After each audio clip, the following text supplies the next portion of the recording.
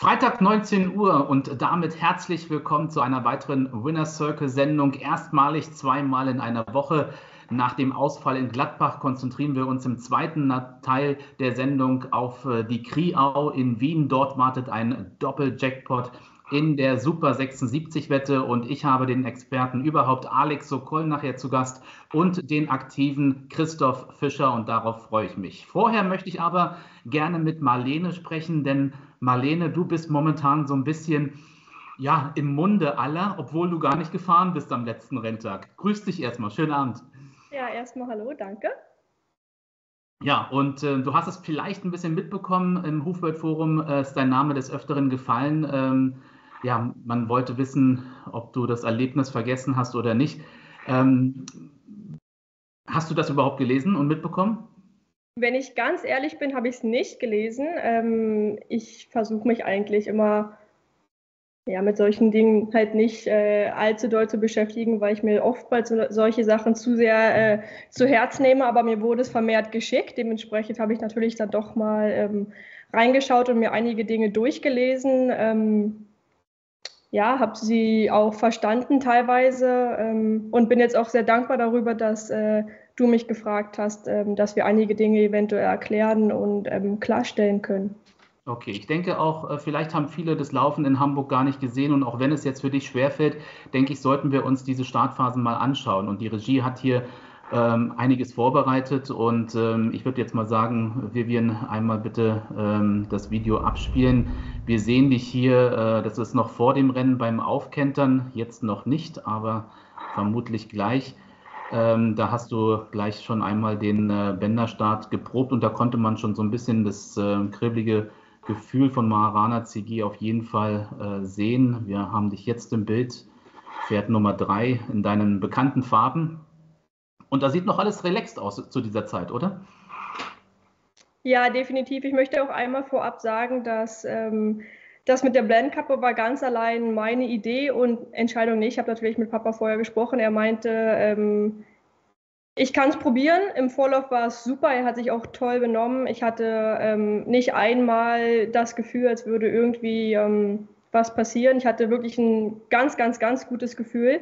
Und hier sieht man, ähm, dass er Angst hatte und die Schuld bei diesem Eindrehen nehme ich ganz alleine auf mich, weil ich definitiv äh, in dieser Situation zu eng eingedreht bin und dadurch hat das Rad einmal ähm, geknackt oder es hat ein Geräusch von sich gegeben, wo er sich dann erschrocken hat. Und dadurch war er durch dieses ja, enge Eindrehen sowieso ein bisschen kribbelig. Und dann sieht man ja beim ersten ähm, Fehlstart jetzt zum Beispiel. Genau. Ähm, dass es da halt auch, er ist, er ist ein sensibles Pferd. Das war, also mit dem ersten Eindrehen, das nehme ich wirklich definitiv ähm, auf meine Kappe. Es war zu eng, es hat ein Geräusch gegeben und davor hat er sich einfach definitiv erschrocken. Aber hattest du jetzt zu diesem Zeitpunkt eigentlich schon ein schlechtes Gefühl, weil er dir schon sehr stark in die Hand ging? Wirklich, wenn ich ehrlich bin, gar nicht. Ähm, mhm. Ich kenne das Pferd sehr, sehr gut. Ähm, ich fahre ihn zu Hause sehr regelmäßig. Ich arbeite seitdem er Jährling ist eigentlich äh, mit ihm zusammen. Ich habe oder ich vertraue ihm. Ähm, ich hatte keine Angst, keinen Respekt. Ich bin da eigentlich trotzdem auch nach dem Aufkentern und auch noch nach dem ersten Fehlstart eigentlich mit einem. Ich dachte, okay, das äh, war jetzt nicht optimal, aber ich hatte nicht das Gefühl, als könnte ich ihn nicht äh, kontrollieren. Okay, dann schauen wir uns jetzt nochmal die äh, Startphase zum zweiten Startversuch an. Die Pferde kommen wieder auf die Innenbahn. Du bist ähm, die letzte Teilnehmerin. Und ich glaube, jetzt war dein Ende.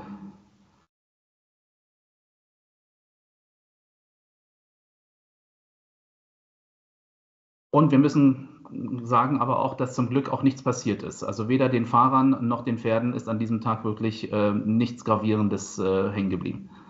Ja, ich habe noch versucht, in der Situation so gut wie es geht irgendwie zu rufen, dass die anderen Teilnehmer ähm, auch hören, dass ich momentan keine Kontrolle habe. Ich habe wirklich eigentlich relativ laut geschrien, aber in dieser Situation, wenn es zu so einem großen Rennen geht, sind natürlich auch an, alle fokussiert. Die denken, jetzt geht es in die Startphase. Äh, Jeder muss natürlich 100 Prozent äh, bei seinem Pferd sein, dass der Start top wird.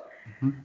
Ähm, ja, ich war sehr froh, dass er ähm, also er hat einen Teilnehmer mitgenommen, das war für mich eigentlich mit das Schlimmste, weil ich natürlich keinen anderen in Gefahr bringen wollte oder das möchte natürlich immer niemand, wenn einem selbst was passiert, dann ist das grausam, aber wenn man dann noch andere mit äh, ins Boot holt, ja, prägt, also plagt einen doch das schlechte Gewissen. Und das hat mich auch über Wochen hinweg beschäftigt, wenn ich ehrlich bin. Ähm, das macht keinen Spaß, das macht man nicht mit Absicht, aber in der Situation äh, hatte ich schlichtweg keine Kontrolle und es hat mir ganz, ganz doll leid getan, aber es ist leider auch nicht mehr rückgängig zu machen. Ich bin froh, dass die Pferde und Fahrer ähm, ja, so gut wie es geht ohne Blessuren da rausgekommen sind und ähm, dass sich da keiner weiter verletzt hat. Das war für mich wirklich in dem Moment dann das Wichtigste. Ja, du bist ihn ja davor auch schon neunmal gefahren und auch mit immer wieder guten Erfolg und auch im Training hast du ja gesagt, du kennst ihn in- und auswendig. Ähm, bist ihn aber danach nicht mehr im Rennen gefahren. Ihr hattet ähm, beim ersten äh, Start äh, Michael Hamann verpflichtet im Bänderstart. Äh, mit welcher Begründung? Ähm, also erstmal ähm, sind leider die Autostarts in seiner Klasse ähm, häufiger ausgefallen. Dementsprechend ging es dann halt nur zum Bänderstart. Und da habe ich äh, mit Papa vorher gesprochen und äh, wir haben gesagt, auch eigentlich um teilweise Gespräche ein bisschen aus dem Weg zu gehen, ähm, setzen wir der Michael drauf. Der hat das super mit ihm gemacht. Es hat alles ganz, ganz toll funktioniert und äh, Michael hat auch nach dem Rennen gesagt, dass er ein tolles Gefühl hatte. Er war lieb, er hat ähm, nicht irgendwie eine Sekunde das Gefühl gehabt, als könnte etwas passieren. Und dann ähm, habe ich zu Papa auch gesagt, ich würde es super finden, wenn er ihn das nächste Mal wieder fährt, mhm. äh, weil es einfach so gut geklappt hat und dann kann man vielleicht bei dem Team erstmal bleiben.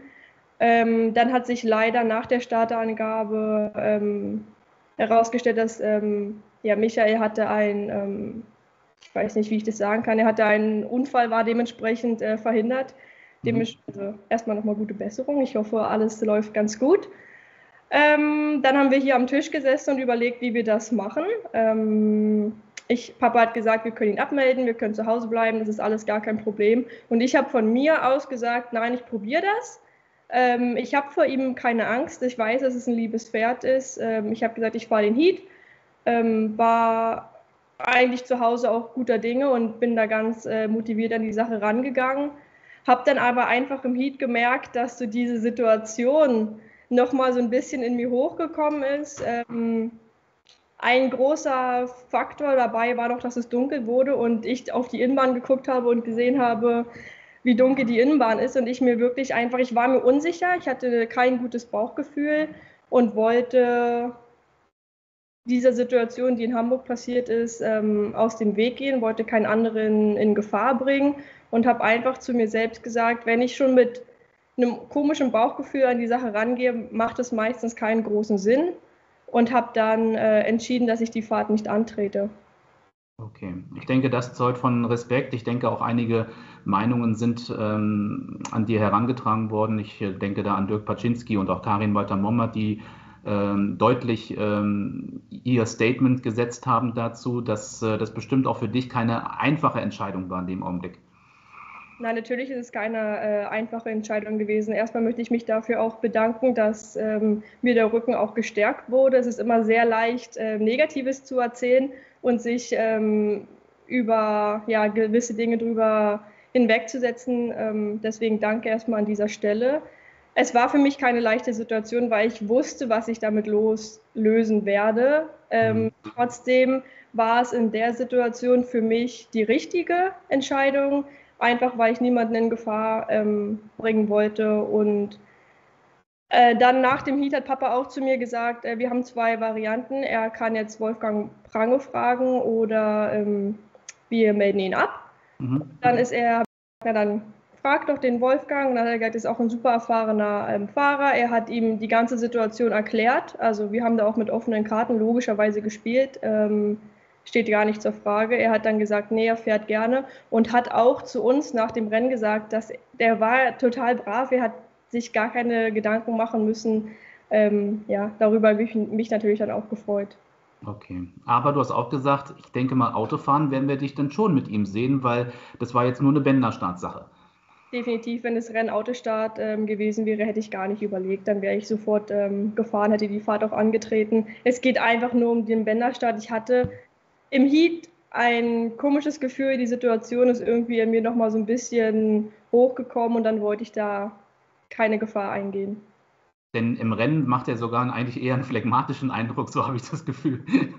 Er ist auch wirklich kein böses Pferd, das ist natürlich für mich leicht zu sagen, ähm, aber er ist, ähm, ja, er ist ein ganz braver Kerl. Ich weiß auch nicht, was da in ihm äh, vorgegangen ist. Ähm, Im Autostart bin ich auf jeden Fall dabei mit ihm und ich sage jetzt mal, wenn äh, Wolfgang oder wenn Michael ihn dann nah fahren wollen, dann können sie das auch gerne. Ich bin da für alles offen.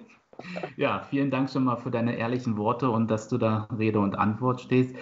Äh, dieses Jahr sehr spannend auch für deine Familie. Es geht äh, zur Europameisterschaft der Amateurfahrerin für deine Schwester. Und äh, wirst du sie begleiten und unterstützen?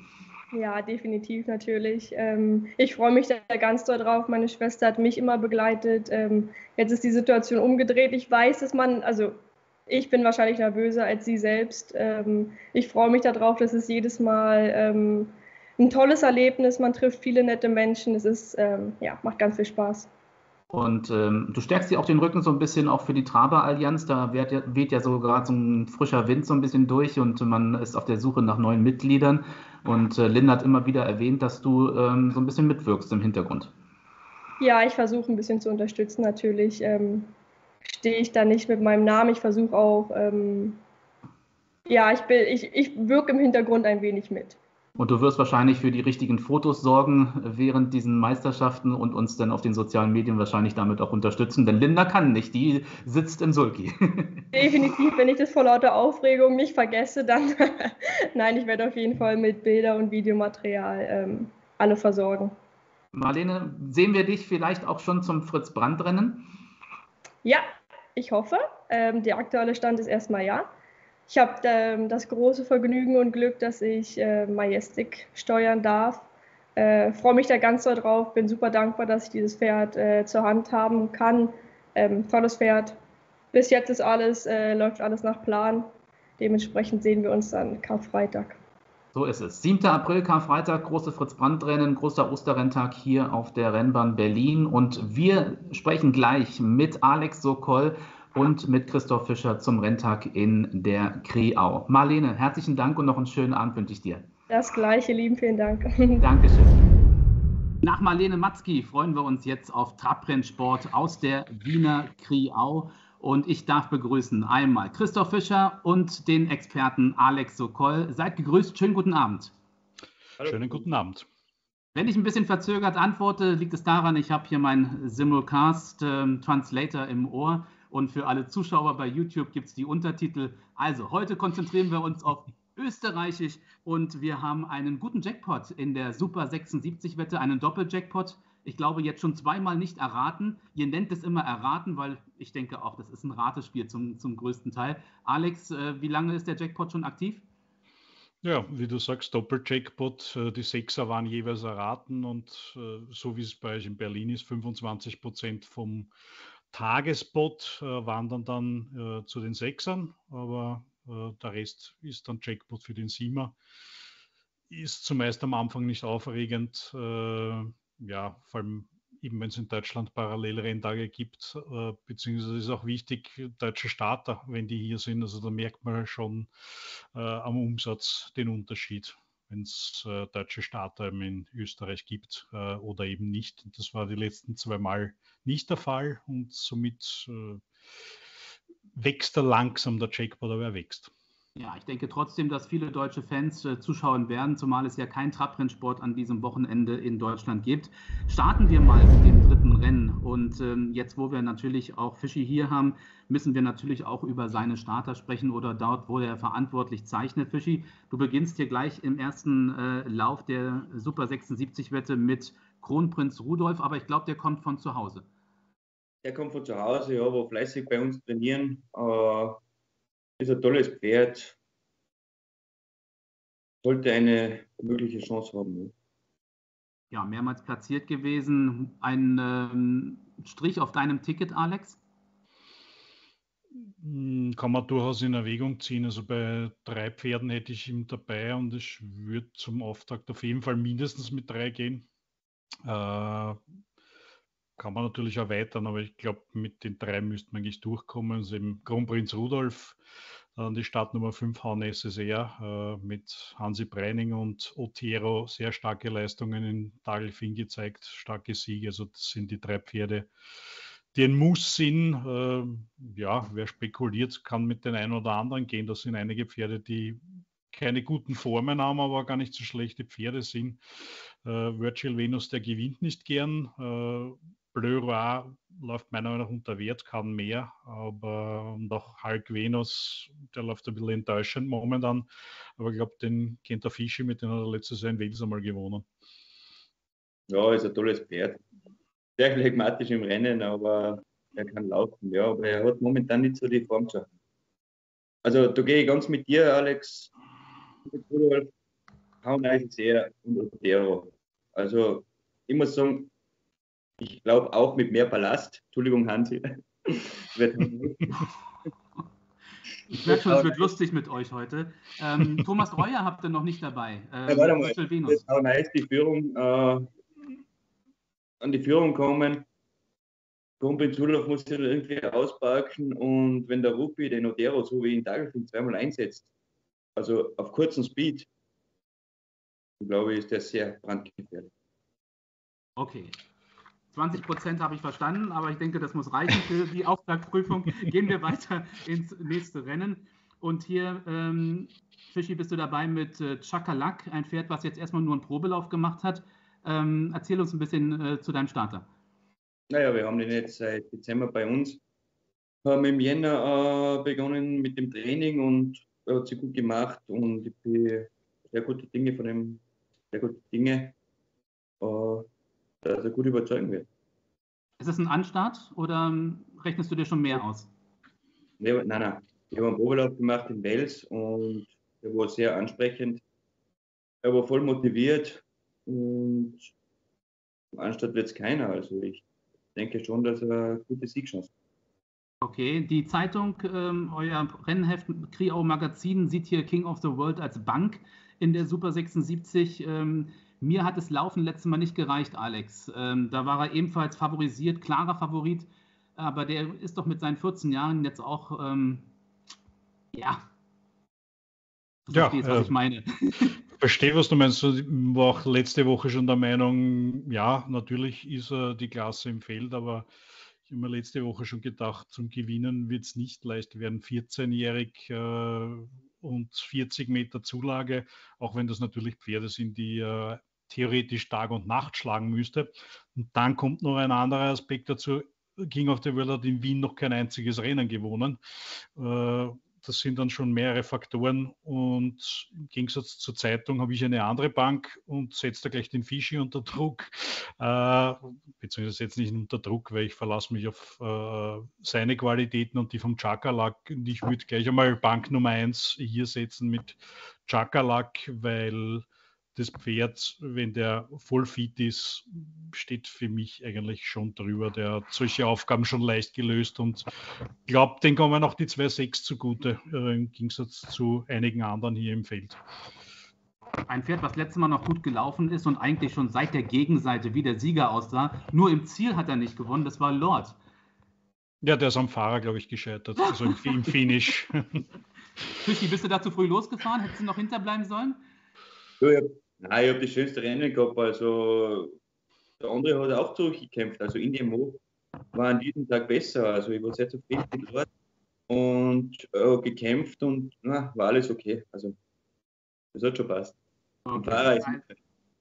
Perfekt. Also wir sehen hier Schakalak, also die Empfehlung und ähm, Fischi hat zumindest nicht bestritten, sondern eher bestätigt. Dann wird es aber recht offen, denke ich, im äh, fünften Rennen über die Meile.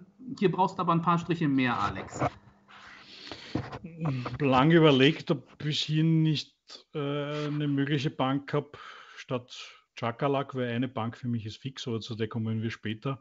Äh, No-Geld-Face, da haben wir auch wieder ein Problem. Es ist 1600 Pferd aus der zweiten Reihe. Es könnte weite Wege bedeuten.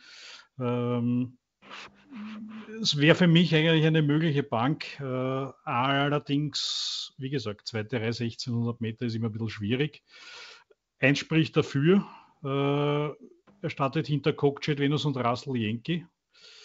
Äh, zwei Pferde, die eigentlich ziemlich gut beginnen. Und von dem her könnte er bald eine gute Lage haben. Aber besten Rennen läuft der No Geld Face, glaube ich, mit der Führung. Kann auch von hinten gewinnen, aber am besten von vorn der, wie gesagt, eine mögliche Bank und ansonsten hast du durchaus recht. Äh, offener Bewerb, äh, die zwei, die ich angesprochen habe, die gut beginnen können mit Cookjet Venus und Russell Yankee, äh, sind da mögliche Kandidaten, ebenso wie laufgewaltiges Pferd. Ähm, ich hoffe, der Dominik Zeininger verzeiht es mir. Ich glaube nicht, dass er über die Bahn bringt, aber wenn ein Hero de Brigade läuft, dann kann der da so ein Rennen auch gewinnen, auch wenn der nur 5000 Euro Geld gewonnen hat.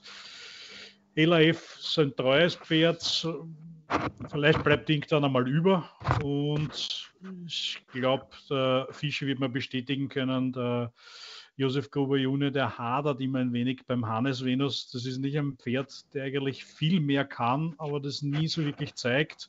Der lässt sich im Rennen immer so viel bieten äh, und ja, sehr triebiges Pferd. Und jetzt, wo man weniger noch weniger eben auf Patchen-Einsatz bauen darf oder soll, äh, wird es noch schwieriger. Startnummer auch alles andere ist ideal, weil das habe ich, glaube ich, letztes Jahr in Baden auch einmal gesagt, den nehme ich nicht wegen der Startnummer 7, weil in Baden sind nur sieben in einer Reihe und er hat mit Startnummer 7 gewonnen, also er hat mich dann gleich Lügen gestraft. Also deswegen würde ich ihm dann auch nicht auslassen, wenn man hier mehrere mitnimmt. Aber wie gesagt, das ist äh, am Papier ein sehr schweres Feld. Ich weiß nicht, wie es der Fischi sieht. Wie gesagt, mein Top-Favorit No Geld Face, aber ansonsten kann da sehr viel passieren. Ja, schwierig. Und Hannes Venus fehlt so ein bisschen an der Einstellung, muss man wirklich sagen. Also der könnte es, aber er bringt es einfach nicht auf die Bahn. Ist, ja, sehr pragmatisch. Ja, weil ich glaube, der, der, der, der Josef Gruber Junior hat ja, glaube ich, schon öfter gesagt, äh, der trainiert äh, mit einem Kronprinz Rudolf, also mit den besseren Pferde von ihm und lässt die sogar im Training stehen und im Rennen geht nie was, deswegen ärgert es ihn, glaube ich, immer ein bisschen. Prinz Rudolf und Hannes Wiener sind die besten Freunde. Also die trainieren miteinander, die gehen miteinander auf die Kuppel, die schlafen miteinander, die was weiß ich. Also, auf jeden Fall, die sind echt äh, die besten Freunde, aber ein kleiner, äh, kleiner Unterschied in der Einstellung ist bei den zwei. Er könnte das Rennen gewinnen, wenn alles passt. Er geht auf der Todesspur, geht außen rum. Es ist überhaupt kein Thema. Aber wie gesagt, bei dem ist wirklich die Einstellung äh, die Frage. Und für mich, also ich sehe jetzt den Cockjet Venus von der Klasse her und den Nungel Face in dem Rennen. Ja, einer von den zwei. Okay. Eine kurze Variante wird gegeben und natürlich, wenn Sie lang gehen, dann nehmen Sie die 8 Hannes Venus auf jeden Fall mit. Dann müssen Sie nicht fragen nach seiner Einstellung. Wir sind im sechsten Rennen und ähm, hier könnte doch der Sieger aus der zweiten Reihe kommen, Alex, oder? Wie siehst du es? Klassemäßig müsste auf jeden Fall aus der zweiten Reihe kommen. Aber ja, das sind eben DGS-Rennen. Bekanntlich bei uns äh, sind es Handicaps. Äh, obwohl wir sind hier in der DGS-Klasse 280, äh, sprich Pferde, die bis zu 280 Euro pro Start verdienen, sind, wenn man die Rennpreise in Österreich anschaut, ja keine so schlechten Pferde. Äh, noch dazu zweite Reihe bestückt. Dominator Venus, der hat zuletzt seinen, äh, am 12.03. seinen 40. Lebenssieg gefeiert. Also schon eine mhm. Ausmarke. 40 Rennen gewinnt ein Pferd nicht so leicht. Amigo Venus, ein ehemaliges Derby-Pferd, momentan wieder gut in Schwung. Äh, Mentor Venus, ehemaliges Derby-Pferd, war zuletzt das äh, Favorit gehandelt, aber der hat auch wieder eine passendere Prüfung. Äh, ein Pferd, das im Derby Trostlauf gewonnen hat, damals mit Fischi.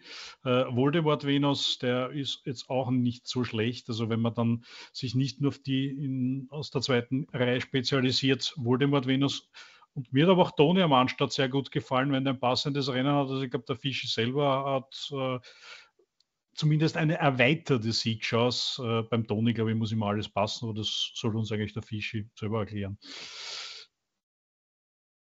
Ich denke, äh, der Sieg wird von 8 bis 12 entschieden.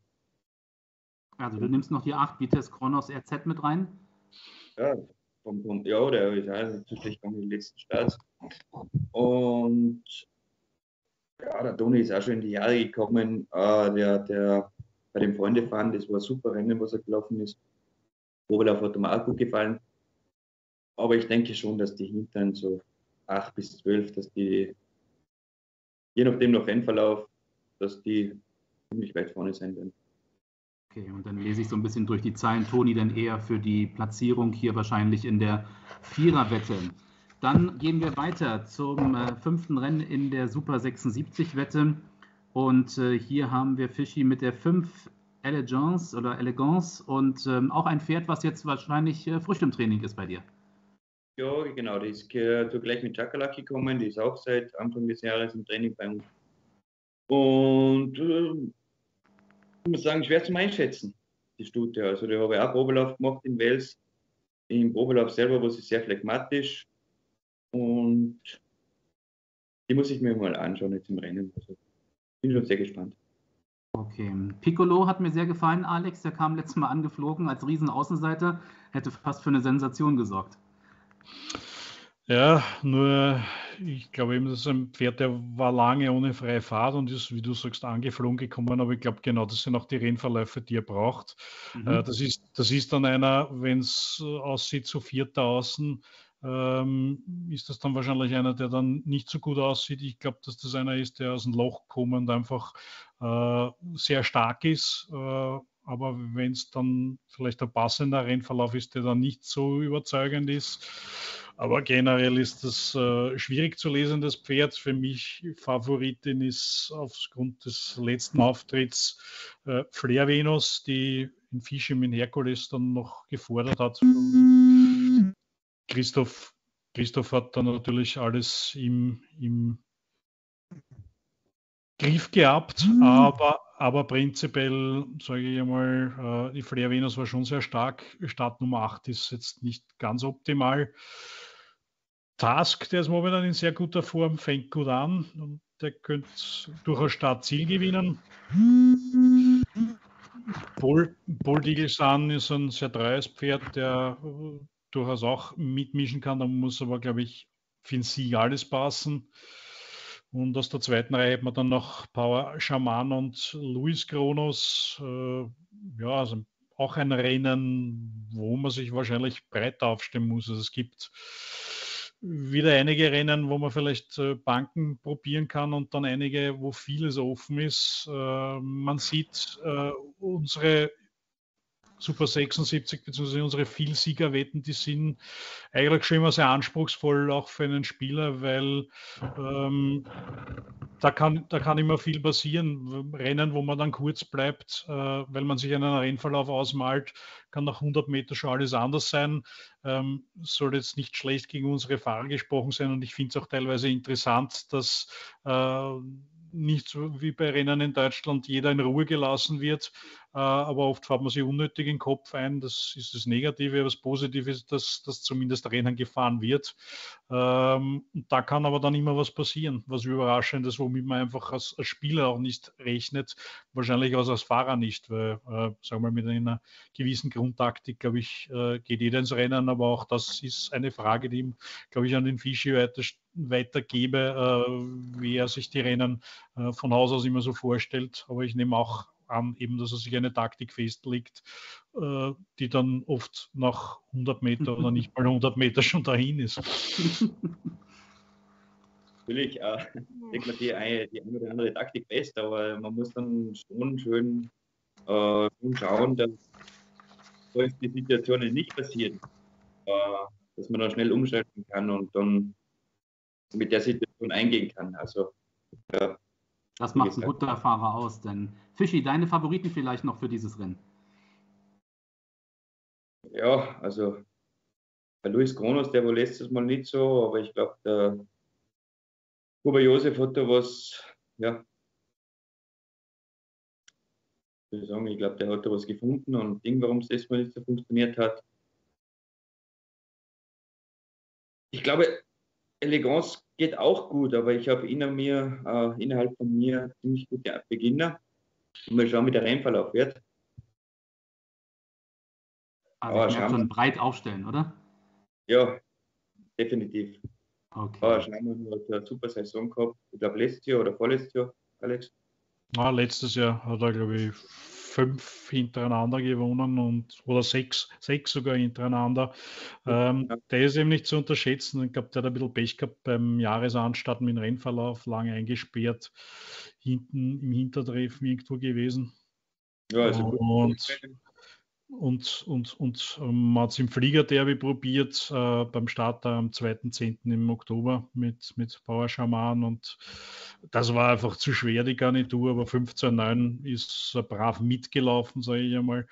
Äh, danach hat er nicht ganz so gut funktioniert, aber das ist auch ein Pferd. Äh, und äh, Gerd Meyer, unser 28 war er Champion, der ist momentan in einer Bombenform, äh, gelingt momentan eigentlich wieder so gut wie alles und ja, den darf man auf jeden Fall nicht weglassen, wenn man mehrere hat und so wie der Christoph sagt, äh, ist ein Pferd, der schon ein bisschen eine Klasse auch hat.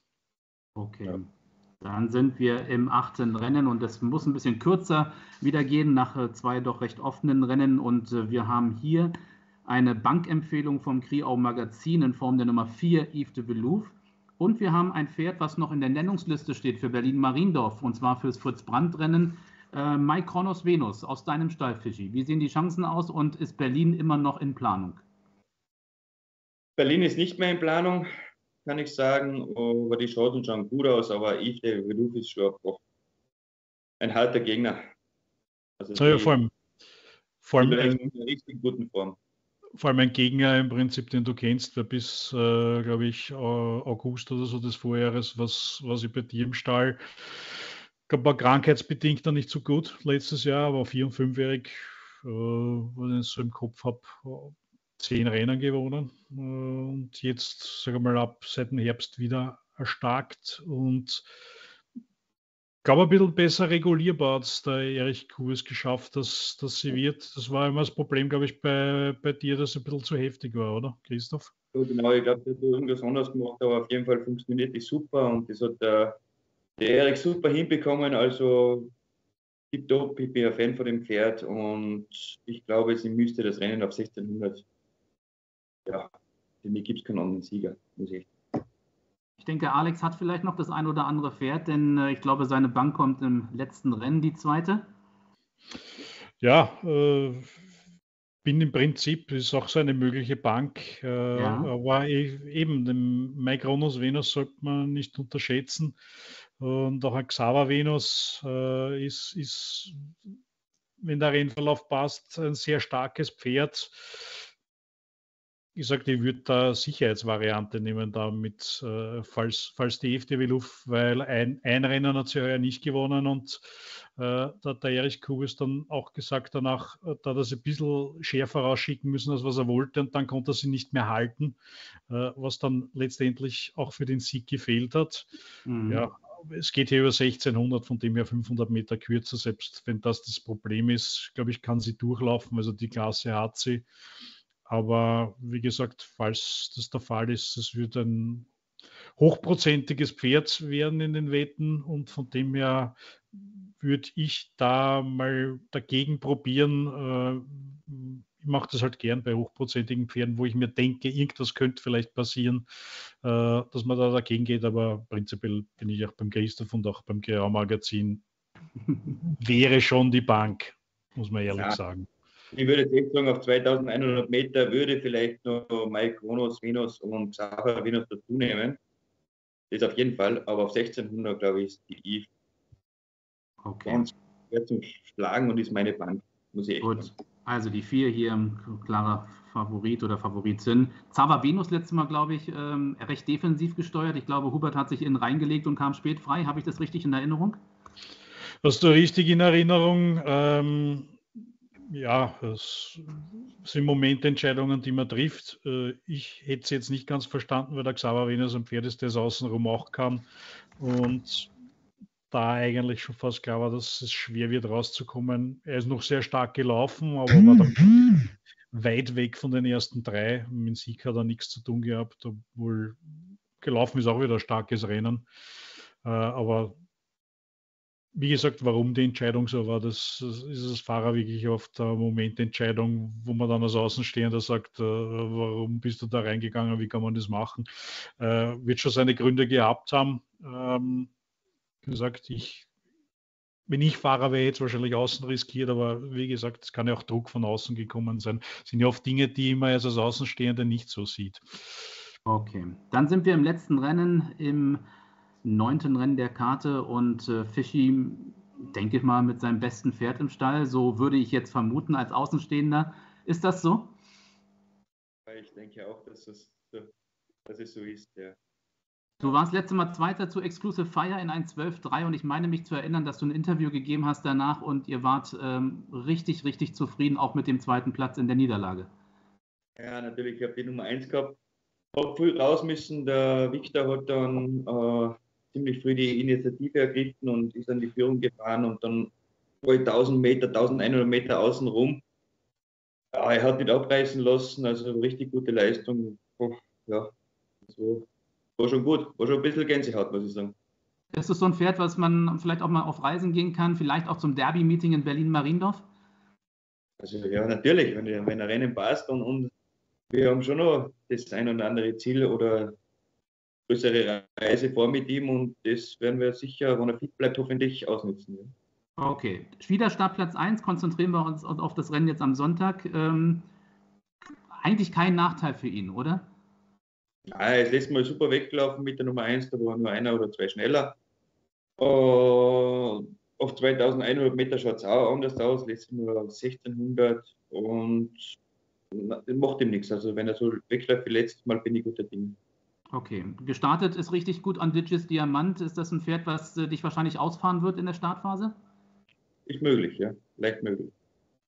Alex, wie siehst du den Rennverlauf? Kommt Fischi in Front oder ist einer schneller?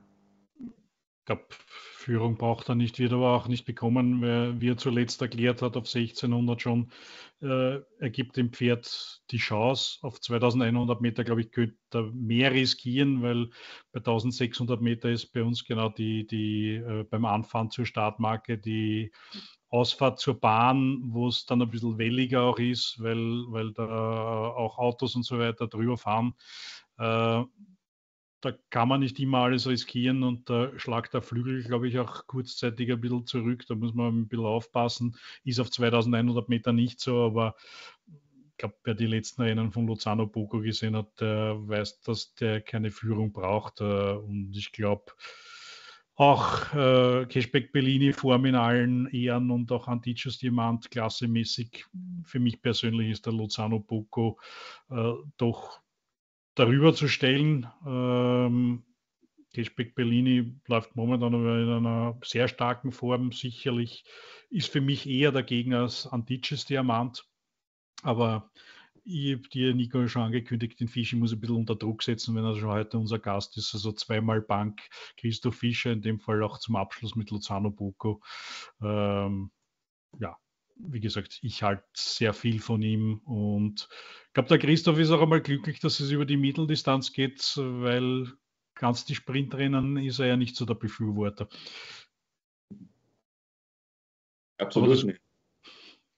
Also nimmst du den Druck an, Fischi? Bitte? Nimmst du den Druck an? Ja, den muss ich wohl annehmen. Mit so einem Pferd muss ich ihn annehmen und ja, und das Pferd hat es auch verdient. Äh, ja, würde ich sagen. Ja, also klarer Favorit Lozano Bocco im Abschlussrennen. Eine mögliche Bank sind also Yves de Villouf, Lozano Bocco und wir haben es vorhin eingangs gehört, Chakalak bietet sich vielleicht eine 2 aus 3 an. Ansonsten, Alex, du wirst wahrscheinlich wieder eine Privattippgemeinschaft ins Leben rufen, ist das richtig? Oder hast du es jetzt aufgegeben? Auf, auf, aufgeben tut man einen Brief, wie es so schön heißt. Ähm, ja, es sind immer wieder Entscheidungen dann dabei. Wie gesagt, äh, man probiert es gegen eine FDW Lufers Hochprozenter, gegen irgendeinen Hochprozenter, probiert man es halt einmal. Ähm, ist, kann dann eine gute Entscheidung sein. Äh, nach dem Rennen ärgert man sich dann oft, weil man weiß, äh, es wäre dann doch die Bank gewesen und man hätte vielleicht woanders den einen oder anderen dazu geschrieben, der dann fehlt. Das ist, ja, Aber ich sage mal, wenn ich eine Tippgemeinschaft ins Leben rufe, dann ist es schon eine, wo ich jetzt keine Auszahlung von äh, 200 Euro anstrebe, sondern schon äh, etwas, wo es äh, zumindest irgendwie Chance auf wenige Auszahlungen gibt. Only Winner, ja, da probiert man natürlich das eine oder andere Pferd, da gehört immer Glück dazu. Ich glaube, das weiß jeder, der äh, VW spielt.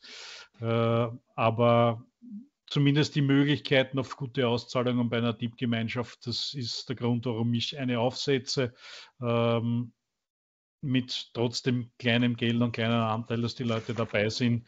Und es sollte halt ein Schein sein, der ein bisschen in Relation steht, äh, auch zum Jackpot, äh, zum Einsatz, was man gewinnen kann. Von dem her, wie gesagt, aufgeben tue ich sicher nicht. Äh, oh ja, eine Wette, die gebe ich auf. Super. Schauen Sie also rein. Sonntag am späten Nachmittag geht es los mit der Super 76 Wette um halb fünf ungefähr. Und dann geht sie bis in den Abend hinein, in den Sonntagabend. Zum Tatort ist es dann pünktlich vorbei wahrscheinlich. Und ähm, ich darf mich auf jeden Fall bedanken bei Alex Sokol und natürlich für die Winner Circle Premiere Christoph Fischer. Fischi, vielen Dank, dass du dir die Zeit genommen hast. Dankeschön, hat mich sehr gefreut. Super, dann ja. wünsche ich allen einen schönen Abend, ein schönes Wochenende, kommen Sie gut rein und die nächste Sendung wahrscheinlich findet am Karfreitag statt mit der Vorschau für Ostersonntag München-Dagefink und Ostermontag in Hamburg-Bahnfeld. Nächster Renntag, ansonsten Gründonnerstag in Gelsenkirchen und Karfreitag in Berlin-Mariendorf. Tschüss und noch einen schönen Abend. Schönen Abend. Schönen Abend. Ciao.